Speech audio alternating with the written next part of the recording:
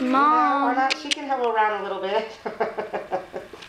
I'll get her some welfare. Mom. She'll have several daddies for her baby. All right, baby. Well, listen, you. Mom. I will um, text you and let you know decide. I'm gonna think about it tonight, tomorrow. I'll tomorrow, obviously, because tomorrow's Tuesday. Um, and in the meantime, be safe getting down. What city did you live in that you're in the boonies? Hi, Mom.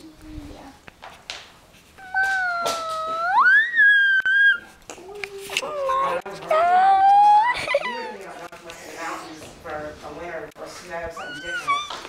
But uh, don't know. It's really a little.